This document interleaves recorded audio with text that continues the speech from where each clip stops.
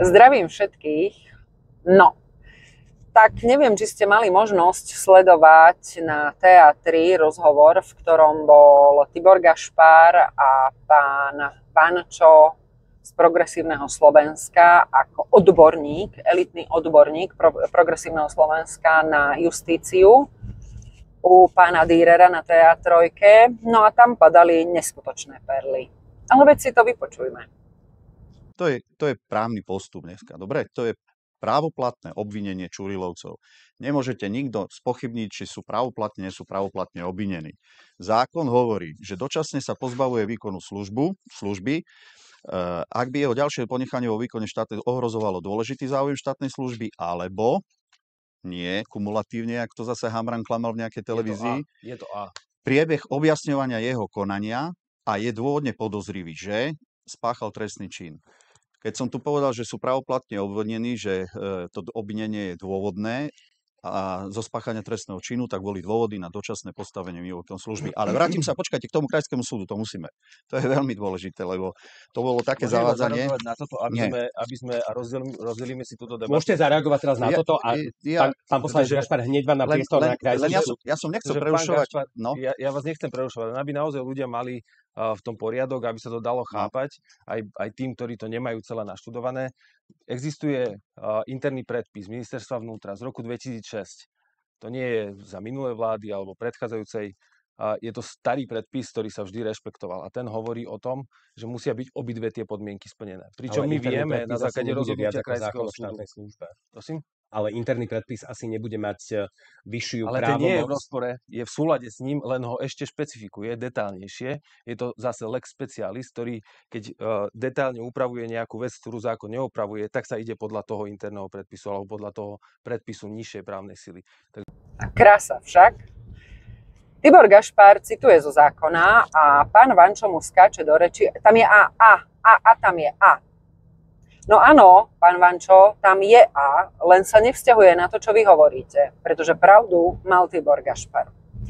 No a srdečné pozdraví pre Progresívne Slovensko a celý jeho tím, čo sa týka justície, pretože ak jeho expert vysloví, že interný predpis ministerstva je lex specialis k zákonu, tak to sú, to sú fantastické novoty. Ono totiž to podľa ústavy Slovenskej republiky jediný zákonodárny orgán Slovenskej republiky je parlament. Ale pán Vančo nám tvrdí, že je úplne jedno, na čom sa poslanci zhodnú a aký zákon odhlasujú, dôležitejšie ako zákon je nejaký interný predpis z ministerstva. Neviem síce potom, na čo platíme 150 poslancov v parlamente, teda okrem iného, keď nám úplne stačí ministerstvo. Takže dozvedeli sme sa novinku, čo myslím si, že nie celkom korešponduje s pravdou, takže poprosím študentov práva toto na skúške nerozprávať aj keby ste sa teda odvolávali na politika, lebo je to hlúposť. Takže na jednej strane sme sa pána Juraja Šeligu z Národnej rady Slovenskej republiky zbavili, ale zjavne má svoju úžasnú náhradu. Takže máme sa na čo tešiť. Progresívne Slovensko má však ďalšieho experta a tým je pán Truban, čo som čítala na facebookovom statuse pána Eduarda Chmelára, lebo človek nesleduje také skvosty, ako je pán Truban. A pán Truban prišiel so spásonosnou myšlienkou odvolať ministra, ktorý ešte nedostal dôveru. Nerušme ich kruhy, nechajme ich, nech sa prejavujú. Nie je nič lepšie, ako keď rozprávajú iba tak dokážu preukázať, akí úžasní odborníci to sú. Ja budem celkom zvedavá, akým spôsobom to bude chcieť pán Truban realizovať,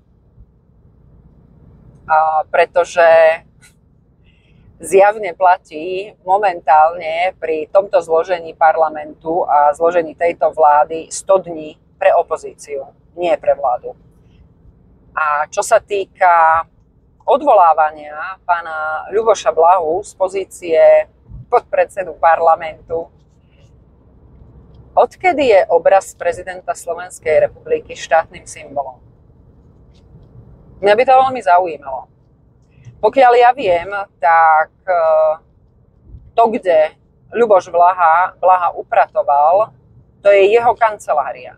To je kancelária, ktorú mu ja ako občan platím, aby vykonával prácu, za ktorú platím Luboša Blahu.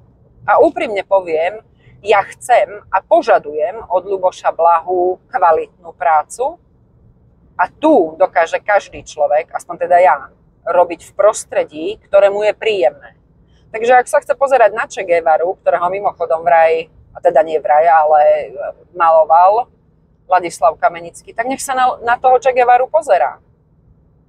Nikoho nemôžete nútiť, aby mala na svojej stene fotku hoci aj prezidentky Slovenskej republiky, keď to nechce. A nepatrí to k štátnym symbolom, takže je to úplne jedno. No.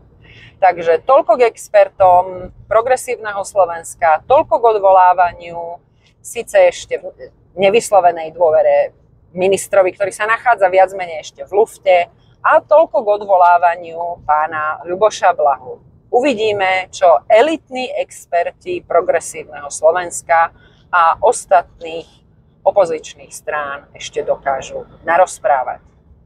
Majte sa pekne zatiaľ.